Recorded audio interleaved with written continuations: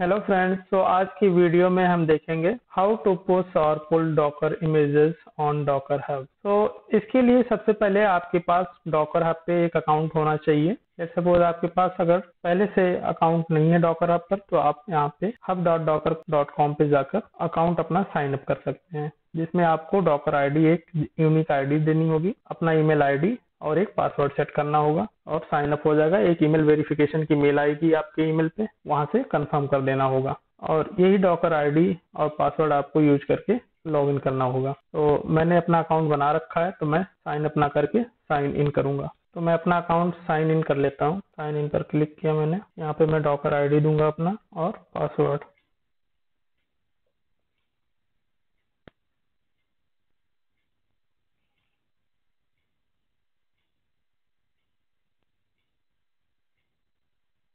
Account login होने के बाद यहाँ पे आपको रिपोजिटरी में सारा कुछ ब्लैंक मिलेगा। हमारे केस में हमने क्या कर रखा है? एक रिपोजिटरी टॉकर लैब के नाम से क्रिएट कर रखा है। तो यहाँ पे आप एक अपना रिपोजिटरी क्रिएट कर लेना। तो इतना ही करना होता है। इसके बाद हम क्या करेंगे? अब मैं चलता हूँ। एक इमेज बिल्ड करता हूँ कस्टम इमेज जिसको मैं अपने डॉकर हब पर पुश करूँगा।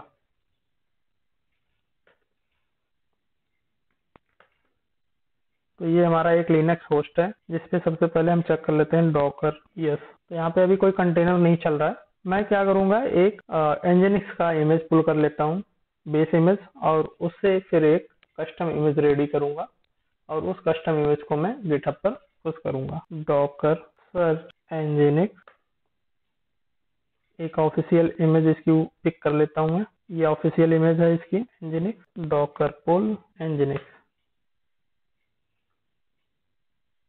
अब अगर मैं डॉकर इमेजेस करूँगा तो ये इंजनिक्स इमेज वहाँ पे हमारे लोकल मशीन पे डाउनलोड हो चुकी है तो दिख जाएगी।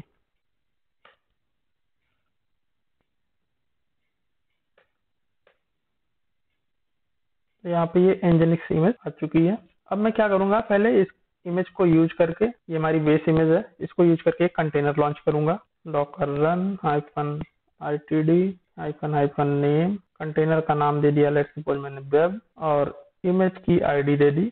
इस बेस इमेज को यूज़ करके कंटेनर लॉन्च होगा। कंटेनर लॉन्च हो गया है।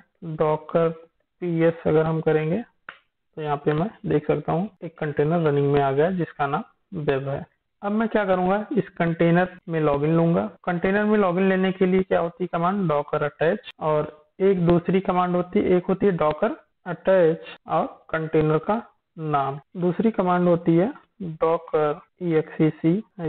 आई टी कंटेनर का नाम देंगे वेब और यहाँ बताएँगे विन सेल बता देंगे। तो अब हम कंटेनर के अंदर आ गए हैं। अब मैं यहाँ पे इस कंटेनर के अंदर कुछ कस्टमाइजेशन कर देता हूँ, कुछ चेंजेस कर देता हूँ। लेट सपोज़ इसका इंजीनिक्स का बाय डिफ़ॉल्ट पोर्ट होता है एट्टी उसके पोर्ट को एट ज़ीरो एट ज़ीरो कर देता हूँ। मैसेज जो वेलकम टू इंजीनिक्स आता है वेब पे जो कंटेंट उसको चेंज कर देता हूँ, जिससे हमें पता चले कि ये हमारी कस्टम इमेज के चेंजेस हैं। तो नेक्स्ट स्टेप क्या होगा हमारा? तो आइए चेंजेस कर लेते हैं। C D A T C nginx conf dot D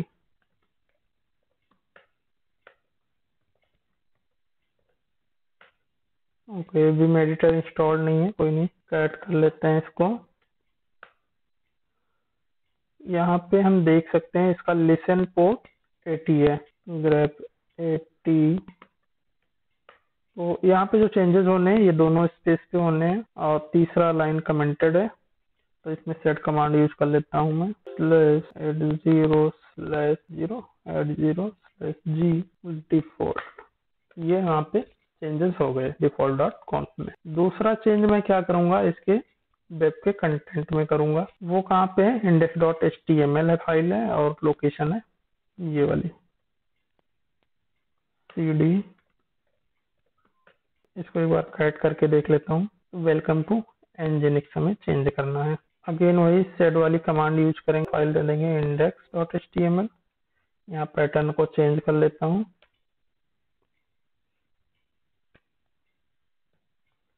Nginx on port eight zero eight zero ठीक है?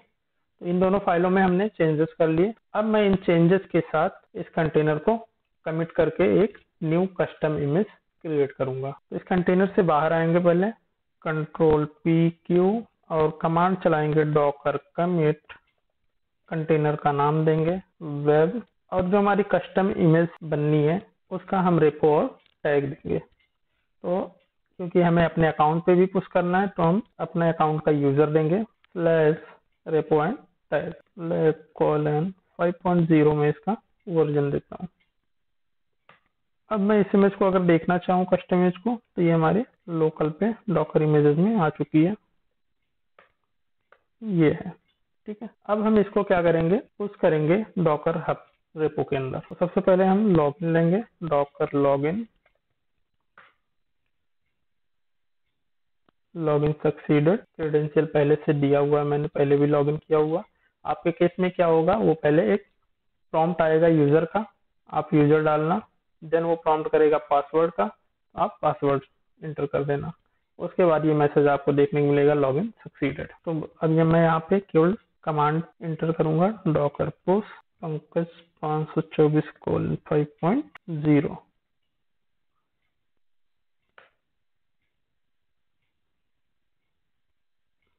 अब ये इमेज जो है पुश हो रहा है डॉकर हब पे रिपोजिटरी के अंदर।